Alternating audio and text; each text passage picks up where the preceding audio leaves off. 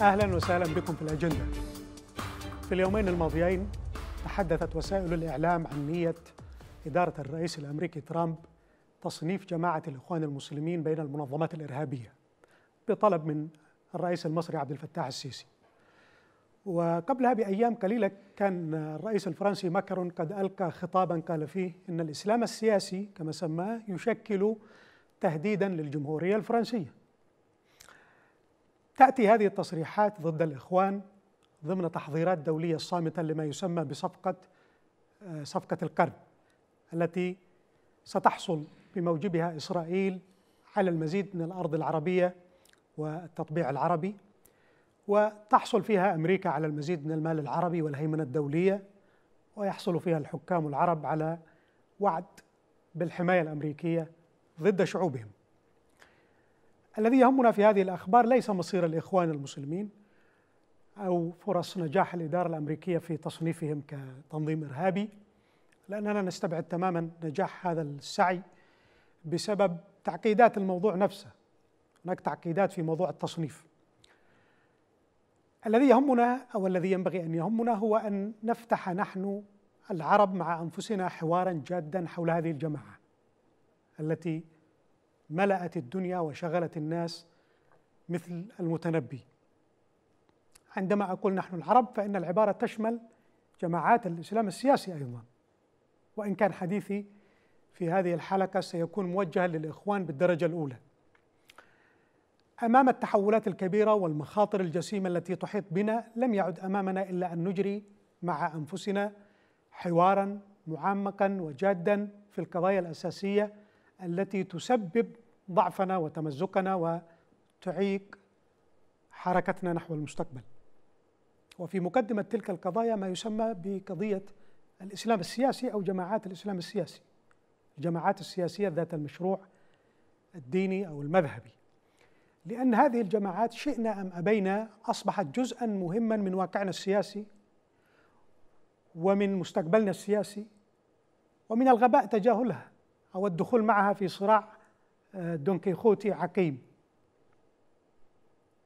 العقل والضرورة الاستراتيجية تحتمان على الجميع فتح باب الحوار العلمي مع هذه الجماعات لما له من مردود إيجابي كبير على مجتمعاتنا إذا كنا جادين في خدمة هذه المجتمعات. هذا هو موضوع حديث هذه الليلة فكونوا معنا.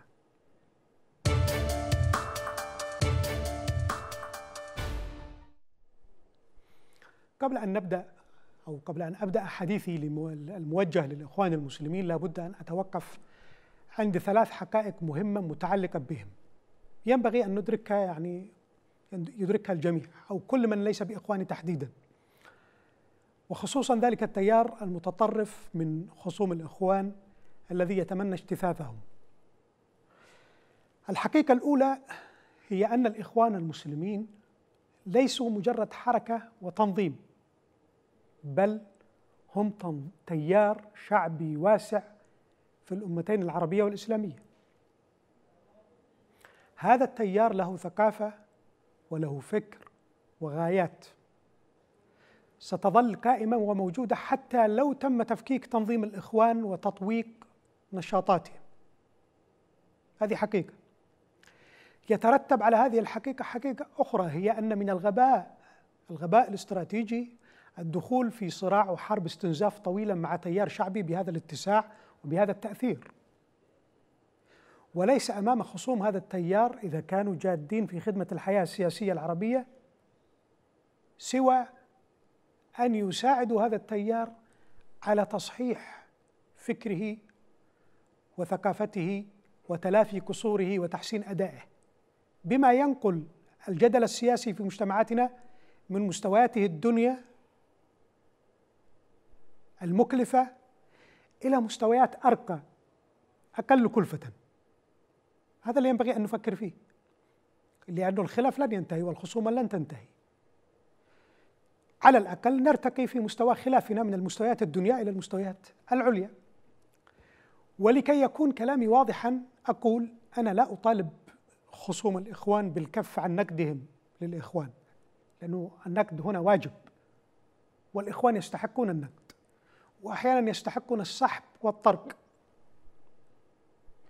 وإنما أطالب هؤلاء الخصوم بمساعدة الإخوان والجماعات الإسلامية عامة على الانتقال إلى مستوى أرقى في الخصومة والجدل لأنه مستوى الخصومة الحالي بين الطرفين منحط منحط وكارثي. يدل على انحطاط فكر النخب السياسية العربية السياسية والثقافية في مجتمعاتنا العربية. ويدل على عقم مشاريعها السياسية والنهضوية. بدليل أن الجميع في الفترة القريبة الماضية أفلت الفرصة التاريخية لهذه المجتمعات. الفرصة التاريخية في التحول إلى مجتمعات ديمقراطية وإلى الدولة المدنية الحديثة. الكل فلتوا هذه الفرصة. فرصة الربيع العربي التي تحولت إلى مأساة عربية. لا أحد يتحمل مسؤولية هذا الفشل وهذا الخراب الذي حصل سوى النخب العربية التي أقحمت الشعوب في صراع لا هدف له سوى خدمة النخب وأوهام هذه النخبة.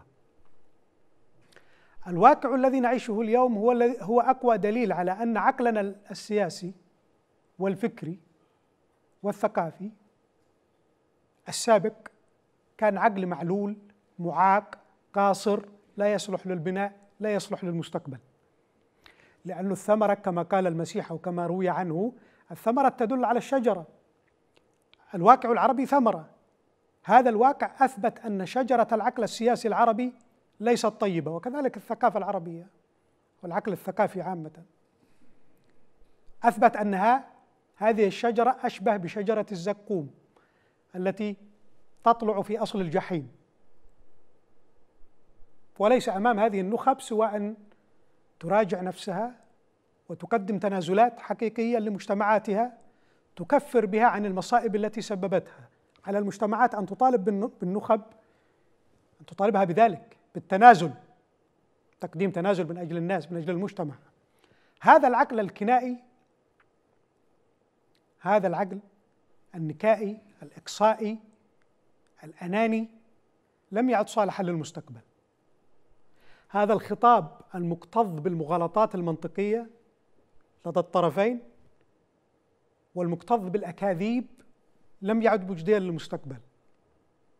هذه السطحية في الطرح في الفكر هذه الذرية في التفكير لم يعودا صالحين للمستقبل. والخطاب للإخوان أيضا. ونقول لهم بالإضافة إلى ذلك إذا لم يكن هذا الذي جرى لكم أيها الإخوان وجرى بكم خلال المدة الماضية هذه إذا لم يكن كافيا لدفعكم إلى إحداث مراجعات في الفكر وفي المشروع وفي وفي التاريخ وفي الخطة والثقافة فأنتم مسؤولون عن جزء كبير من هذا الفشل العربي الذي ينتهي ب... قد ينتهي يوما ما بزوال هذه الأمة. هذا غير مستبعد. ليست هناك أمة محصنة ضد سنن الهدم والزوال. هذه الأمة هذه الأمة التي تسمى أمة عربية ممكن تختفي في أي لحظة. وهذا لا يعني اختفاء الإسلام. الإسلام ممكن يبقى في جيوب هنا وهناك. لكن الأمة إحنا جربنا تجربة الأندلس تجربة كافية تدل على أنه ممكن نختفي. أمة بعد 800 سنة ظلت موجودة قائمة داخل أسبانيا اختفت في غمضة عين. وأصبحت ماضي. بما كسبت أيدي النخب فيها النخب السياسية. وإذا لم يكن بإمكاننا أن نوجه أن أن نواجه عفوا أن نواجه مخططات الغرب وعملائه المحليين ضد أمتنا إذا لم يكن بإمكاننا ذلك بإمكاننا على الأقل تصحيح أخطائنا الداخلية. لأنه عمر العدو ما كان قوي إلا لما كنا ضعاف. والقرآن يعلمكم أن الحبة تفسد من داخلها. قل هو من عند أنفسكم.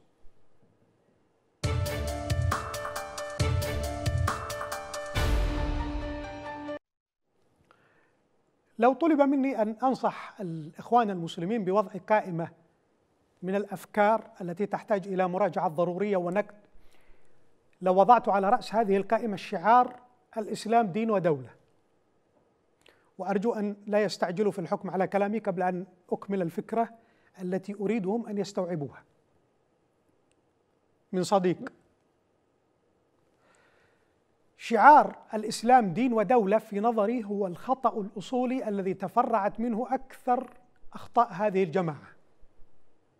وهو الخطأ الذي بني على قراءة فاسدة للنص الديني والتاريخ الإسلامي. هذه القراءة الفاسدة ممكن نعتبرها هي الأصل لكل فساد الفكر السياسي لدى الإخوان. نطلق عليها يمكن أن نطلق على هذه القراءة الفاسدة اسم التفسير السياسي للإسلام. التفسير السياسي للإسلام.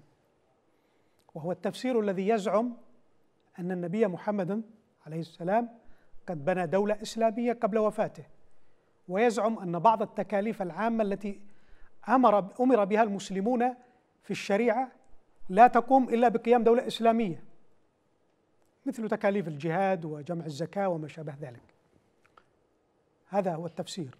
هذا التصور كما أشرت بني على استقراء علمي قاصر وفاسد لا معنى لبقائه حتى الآن إلا أن الجماعة لا يرغبون في معرفة الحق أو أنهم لا يستطيعون استيعاب هذه الحقيقة. كيف؟ دعونا نحقق بطريقة بسيطة هذه الفكرة. الفكرة التي تقول إن النبي محمدا قد بنى دولة إسلامية قبل وفاته. ولننظر هل تصمت هذه الفكرة أمام امتحان المعايير والأسئلة أم تسقط؟ ولنبدأ بالسؤال الأول. ما مفهوم الدولة؟ ما مفهوم الدولة أصلا قبل كل شيء؟ هل هي نفسها فكرة السلطة العامة أم أن للدولة مفهوم آخر مختلف؟ إذا قلنا إن الدولة هي السلطة العامة فهذا يعني أن كل شيخ قبيلة وكل زعيم جماعة هو صاحب دولة ومؤسس دولة لأنه صاحب سلطة عامة. فهل هذا هو مفهوم الدولة عند الإخوان؟ هذا ليس مفهوم الدولة قطعا لدى الناس جميعا. الدولة شيء آخر غير هذا. وإلا لكان عبد الملك الحوثي مثلا مؤسس دولة قبل 21 سبتمبر.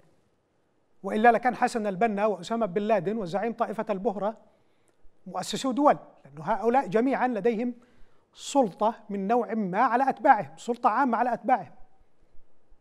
بعض هؤلاء لديه ميليشيا مسلحة تنظيم مسلح مدرب محارب ولديه موارد مالية يجمعها باسم الزكاة أو باسم الاشتراك في الجماعة إلى آخره. هذه مواصفات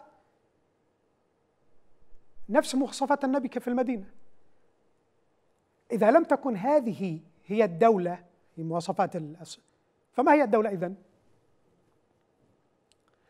الدولة بمفهومها الحديث والقديم هي شكل مركب من أشكال السلطة يختلف عن سلطة شيخ القبيلة وزعيم الطائفة الفلانية يختلف عنه بمجموعة أمور يعني لو رجعنا إلى مكونات الدولة في زمن النبي ما نقولش الآن مكونات الدولة الآن. نرجع لمكونات الدولة أيام ما كان النبي موجود. لو رجعنا سنكتشف فورا أنه لم يكن صاحب دولة ولا كان مؤسس دولة ولا كان تأسيس الدولة من أهدافه ووظائفه ولا من اهتماماته. طيب ما هي مكونات الدولة في زمن النبي حتى نحتكم إليها؟ على الأقل نحتكم إلى شكل السلطة التي كانت موجودة ونحاكم سلطة النبي إليها.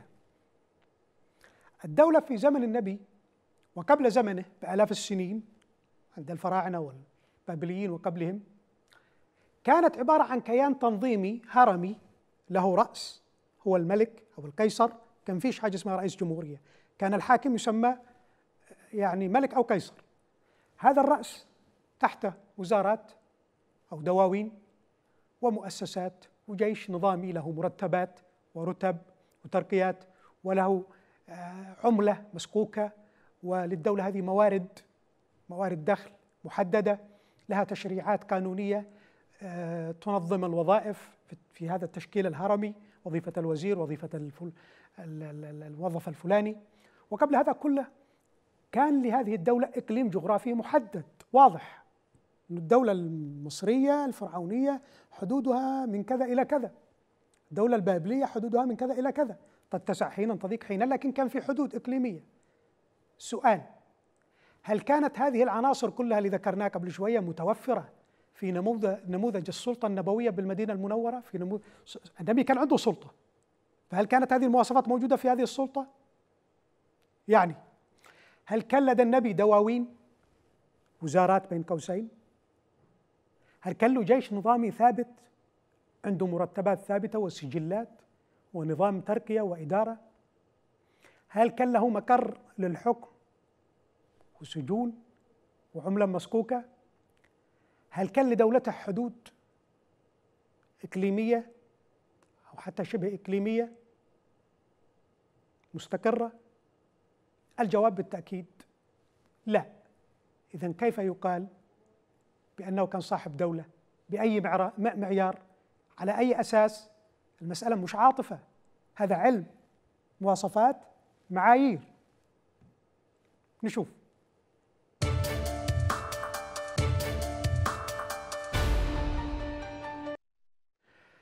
لا شك أن النبي محمد عليه السلام قد أسس أسس مجتمعا جديدا هو المجتمع الإسلامي. هذا لا شك فيه. ولا شك أنه كان صاحب سلطة عامة على جماعته. هذه السلطة انبثقت من كونه مؤسس مجتمع جديد لا من كونه مؤسس دولة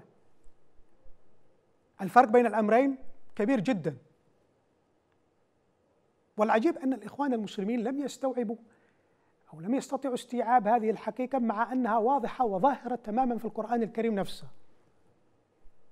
القرآن يقدم لنا نموذجين من الأنبياء أصحاب السلطة اللي عندهم سلطة. عامة يعني سلطة عامة مش سلطة على العيال في البيت وعلى الزوجة. سلطة عامة على الناس.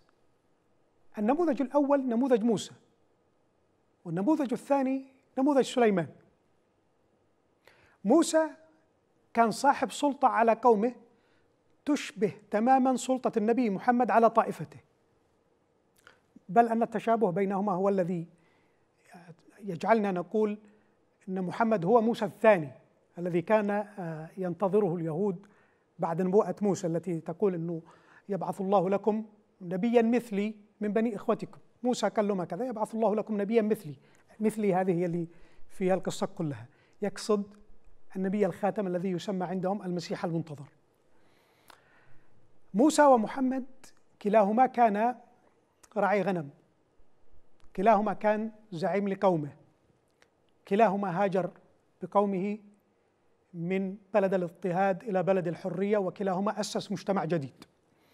لكن لا القرآن ولا التوراة قال إن موسى كان مؤسس دولة أو أنه كان رئيس دولة أو ملك أو صاحب سلطة دولة أو أنه كان معنيا معنيا بذلك أبدا. بينما وصف داود وسليمان بأنهما نبيين ملكين داود وسليمان أقاما دولة أقاما دولة بالفعل بعد طالوت. ولذلك أطلق على كل منهم منهما وصف ملك. هذولا ممكن نعتبرهم أصحاب دولة. أما موسى ومحمد فلم يوصفا بأنهما ملكين أو مؤسسا دول. موسى لم يوصف بذلك مع أن سلطته الروحية على بني إسرائيل أقوى وأعلى من سلطة أي نبي آخر في تاريخ بني إسرائيل كله. ليس هناك نبي فوق موسى عند اليهود.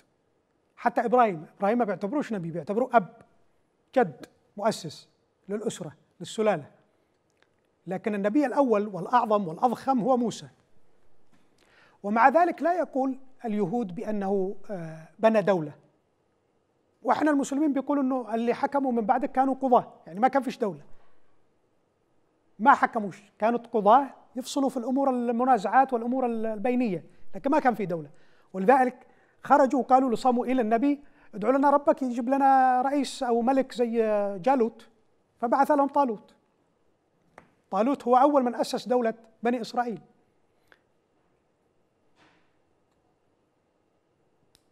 فكيف يقال مثلا أن الإسلام كان دين ودولة؟ يعني إذا اختفت الدولة مثلا ما عاد بش إسلام؟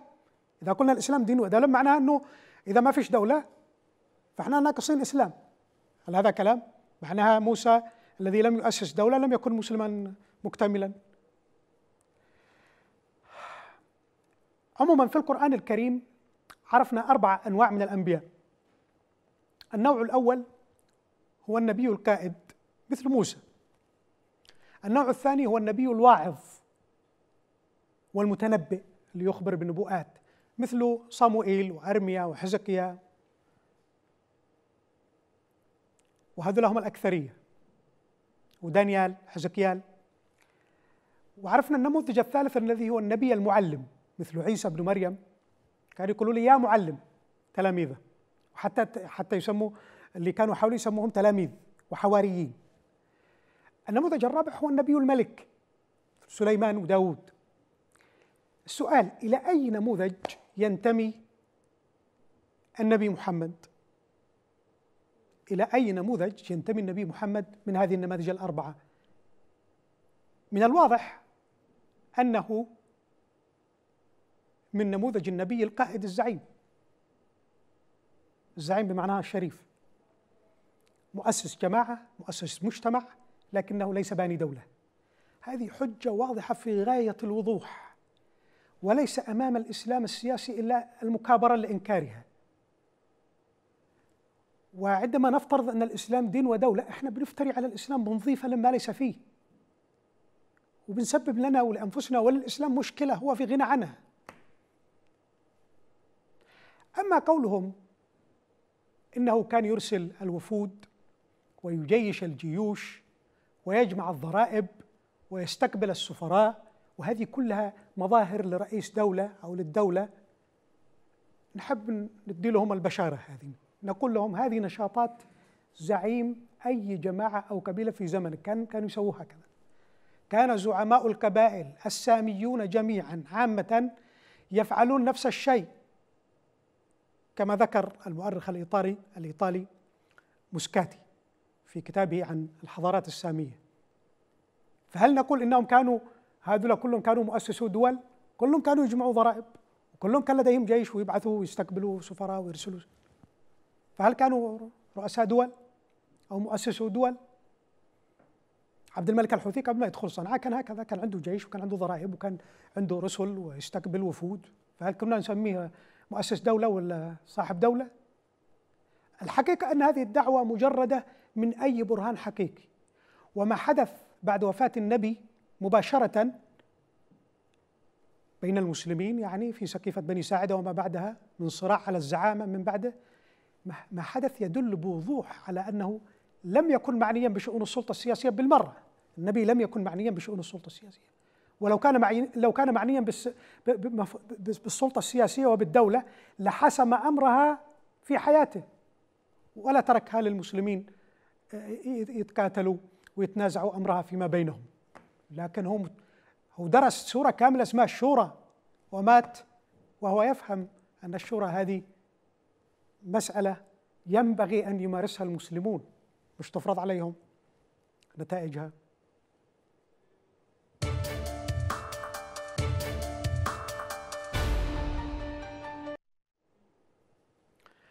لكن ما الذي يترتب على هذا الكلام؟ ما الذي يترتب على قولنا إن الإسلام دين فقط؟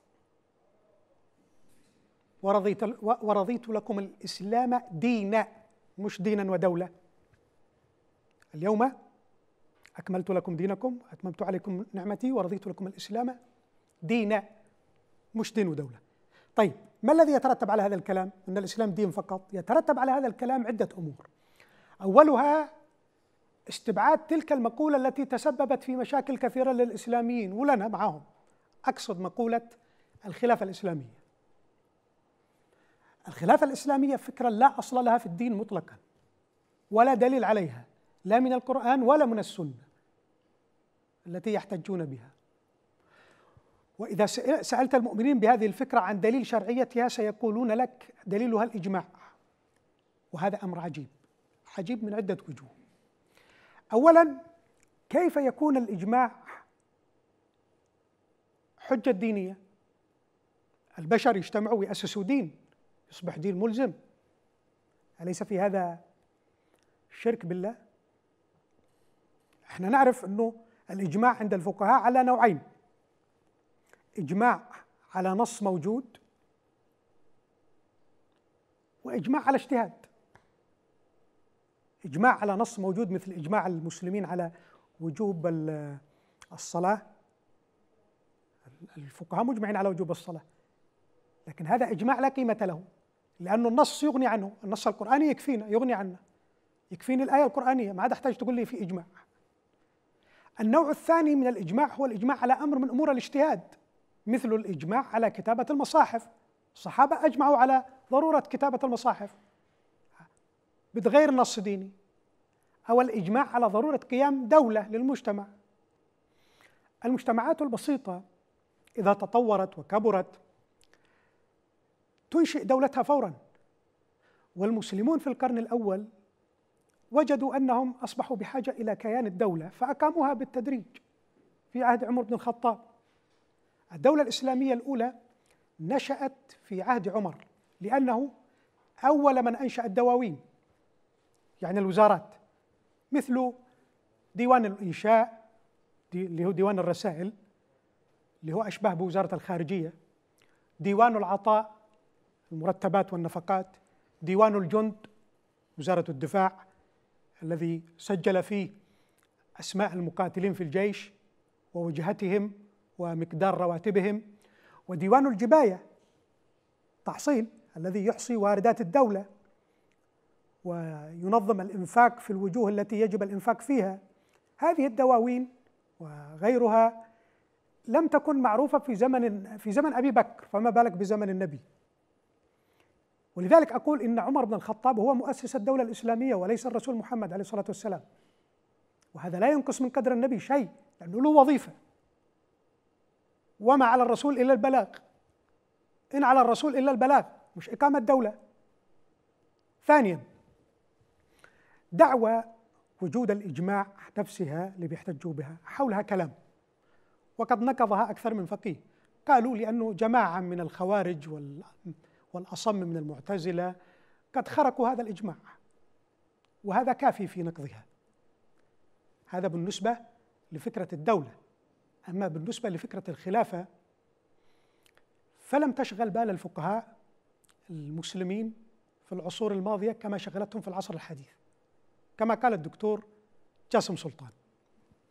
وهو قيادي سابق في جماعة الإخوان المسلمين وله مراجعات فكرية مهمة وناضجة للجماعات الإسلامية مراجعات في غاية الذكاء فكرا وتاريخا وسلوكا. يقول الدكتور جاسم سلطان عفوا جاء الدكتور جاسم إن فكرة الخلافة لم تكن ملحة وضاغطة على العقل الإسلامي في العصور الإسلامية القديمة. وأن الجماعات الإسلامية المعاصرة هي التي أكدت عليها ونفخت فيها بمبررات عاطفية غير مدروسة. يقول أيضا في لفتة ذكية بل إن صلاح الدين الأيوبي نفسه لم يكن حريصا على الخلافة الإسلامية، ما ما حرص على تأسيس خلافة بدليل أنه عندما امتلك السلطة وزعها بين أولاده. تعالوا نستمع إلى الدكتور جاسم سلطان في بعض كلامه. كانوا الناس ينشئون يعني ملكهم الخاص. نعم. ليس لا أكثر ولا أقل من هذه الأشياء ولم يعترض أحد من العلماء على ذلك. فالتضخم اللي حدث عندنا في الفكرة في العصور الحديثة هو نتيجة الأيديولوجيا الإسلامية المستحدثة. لم يكن هذا امرا مضطردا داخل التاريخ الإسلامي قبل العصور اللي إحنا نعايشها الآن. نعم. ولذلك أعظم شخصية موجودة عندنا صلاح الدين الأيوبي. إذا كانت فكرة الخلافة مسيطرة عليه نعم. وهو قد وحد الشام ومصر. صحيح. لماذا يفرقها على أبنائه؟ ماذا يعني أن فرقها على أبنائنا الفكرة مش حاضرة في ذهنه. ولو كان يعتقد أنها دين لما جاز له. إحنا نقول صلاح الدين هو اللي كان تقي وورع ومعاه من العلماء وإلى آخره. نعم. فكيف يرجع مرة ثانية بعد ما جمع الناس على بعض؟ كان المنطق العملي اللي إحنا نتكلم عنه إن صلاح الدين اللي كان يذهب يتفقد الخيام من فيها قائم من فيها صائم واللي حرر بيت المقدس إنه هو جامع المسلمين عشان بعدين يسلم مجلس شورى عالمي آه، موضوع الخلافة والخلافة تنطلق للمستوى الثاني والمستوى الثالث. هذه كلها أوهام إحنا سابقينها على الوضع. الرجل ملك وبنى دولته ولا يضيره ذلك. لم تكن الفكرة حاضرة بهذا الشكل اللي إحنا نطرحه. نعم. وزع المملكة على أبنائه. طيب وين الخليفة اللي كان موجود في تلك اللحظة اللي اللي يقول له لا ما توزعهم هذه مملكتنا إحنا وانت مالك دعوة فيها إحنا بنرتب الأوضاع. سيكتشف الإخوان المسلمون بعد استبعاد دولة الإسلام أو استبعاد هذا الشعار الإسلام دين ودولة أنهم بحاجة إلى بناء فلسفة سياسية جديدة. يكون من أولوياتها حماية المجتمع والدين من هيمنة الدولة واستبدادها لا أسلمة الدولة والمجتمع. سيكون هذا هو هذه هي مهمتهم الأساسية. وسيجدون أصول هذه الفلسفة في القرآن نفسه. القرآن الذي يخاطب النبي بالقول فذكر إنما أنت مذكر. لست عليهم بمسيطر. ملك سلطة عليهم. سلطة دنيوية زمنية ما هيش عليك. وما أنت عليهم بجبار. فذكر بالقرآن. من يخاف وعيد. وما على الرسول إلا البلاغ المبين. وغير ذلك من الآيات التي تنهى النبي نفسه عن ممارسة السلطة الزمنية على أصحابه أو تنهى عن فرض الدين بقوة السلطة. أي سلطة؟ ليس من وظائف الدولة نشر الدين وتربية الناس ليست من وظائفها. الدولة جهاز محايد يحقق مصالح المجتمع ينظم علاقاته يدير شؤونه. فإذا قرر هذا المجتمع مثلا أي شيء يضغط على الدولة لتحويله إلى مطلب قانوني. مثلا المجتمع يشتي يقول إحنا نشتي الشريعة مرجع للدولة. يضغط على الدولة يسويها دستور قانوني. والقانون يحترم ولا يقدس. المجتمعات العربية ليست بحاجة إلى من يحمي دينها. وإنما هي بحاجة إلى من يحميها من الاستبداد. والشعار الذي ينبغي أن يرفع في هذه المرحلة هو شعار الديمقراطية وحقوق الإنسان هي الحل وليس الإسلام هو الحل. لأن هذا الشعار الأخير شعار فضفاض ليس له معنى واضح. ما فيش معنى محدد. ما معنى الإسلام هو الحل؟ حل لأي مشكلة؟ هل هناك مشكلة أخرى في الوطن العربي والوطن الإسلامي؟ أكبر من مشكلة الاستبداد والعسكر العملاء للغرب؟ ومن مشكلة غياب الحقوق والحريات هل هناك مشكلة أخرى؟ إذا قالوا نعم هناك مشكلة أخرى. بشكل أكبر من, من ذلك فقد أثبتوا عدم أهليتهم لفهم الواقع وعدم أهليتهم لقيادة هذه المجتمعات. مش مستوعبين إذن الواقع. لأن منطق العقل والعلم يقولان إن مشكلة العرب الكبرى التي تتفرع عنها معظم مشكلاتهم المعاصرة هي مشكلة الاستبداد. استبداد السلطة الدولة. إلا إذا صدقنا الخطاب العلماني الذي يقول إنه أن المشكلة هي مشكلة الدين والخطاب الديني. إذا الإسلاميين موافقين على هذا الكلام ما عندناش مشكلة. ليس أمام الإخوان إلا أن يختاروا إحدى الإجابتين. إما أن يقولوا الاستبداد هو المشكلة وإما أن يقولوا الدين هو المشكلة. ليس هنا ليس هناك خيار ثالث. خارج هذه خيار ثالث خارج الذات. يعني أوكي في مؤامرة لكن المؤامرة الأجنبية ليست هي الأساس. المؤامرة الأجنبية لا تنجح إلا إذا كان الداخل نفسه مثغور الا إذا كان لديك قابلية. قل هو من عند أنفسكم. اذا ما دام أن المشكلة الأساس هي استبداد الدولة فإن الشعار الذي ينبغي أن يرفعه الإسلاميون في المرحلة القادمة هو شعار الديمقراطية هي الحل. حقوق الإنسان هي الحل وليس الإسلام هو الحل. لأنه المشكلة ما هي ما هيش الكفر علشان يكون الإسلام هو الحل. هذا الشعار سيغير معادلة الصراع بين الشعوب التواكل للحرية وبين أعدائها المحليين والدوليين. لأنه سيضرب أكثر من عصفور بحجر واحد. نشوف العصافير اللي ممكن يضربها.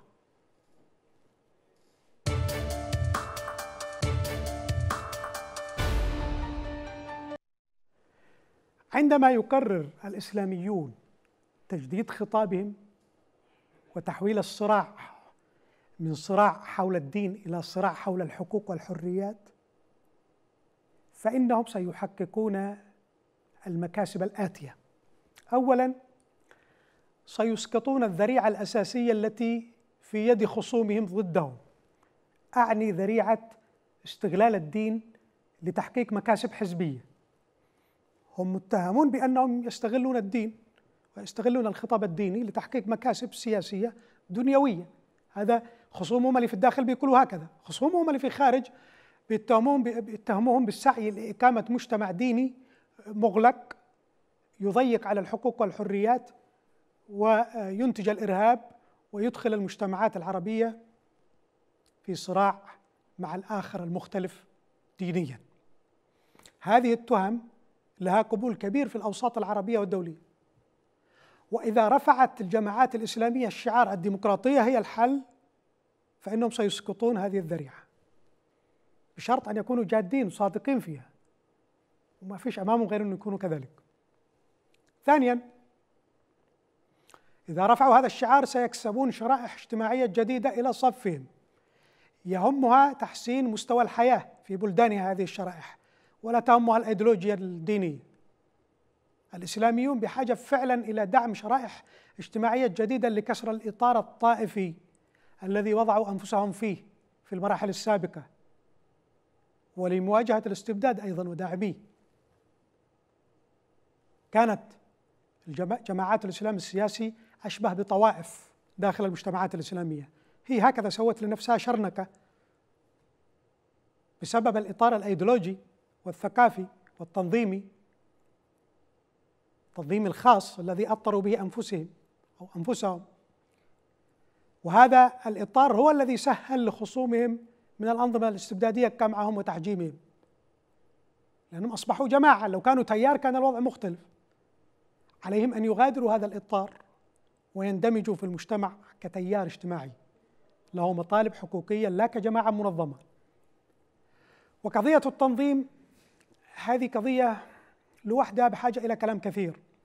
الحقيقة أن جماعات الإسلام السياسي كما يسميها البعض بحاجة إلى مراجعات ثورية في الفكر والنظرية والعمل. وفي مقدمة هذه المراجعات في مقدمتها كما قلت في بداية الحلقة استبعاد التفسير السياسي للإسلام. هذا هو اللي بينتج المشاكل كلها. لأن هذا التفسير جنى على الإسلام وجنى على المسلمين جناية عظيمة.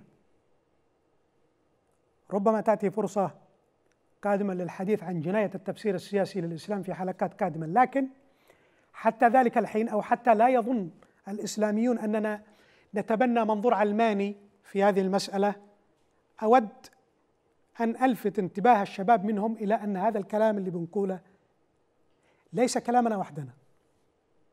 فقد سبقنا إليه مفكرون إسلاميون كبار. يمكن هم أكبر المفكرين في التيار الإسلامي. أمثال المفكرين الهنديين وحيد الدين خان وأبو الحسن الندوي. لكل منهما كتاب بعنوان التفسير السياسي للإسلام. معارضين هم للتفسير السياسي في الإسلام. أبو الحسن الندوي عنده التفسير السياسي للإسلام توحيد الدين خان أو وحيد الدين خان عنده التفسير السياسي للدين. قدم كل منهما في هذا الكتاب مرافعة ممتازة في نقد خطاب الحركة الإسلامية تجاه هذا الموضوع وخصوصا كتاب وحيد الدين خان هذا الرجل المظلوم الذي كان يجادل يجادل أبو الأعلى المودودي في هذا الكتاب مؤسس الجماعة الإسلامية في باكستان وسيد وأستاذ سيد قطب.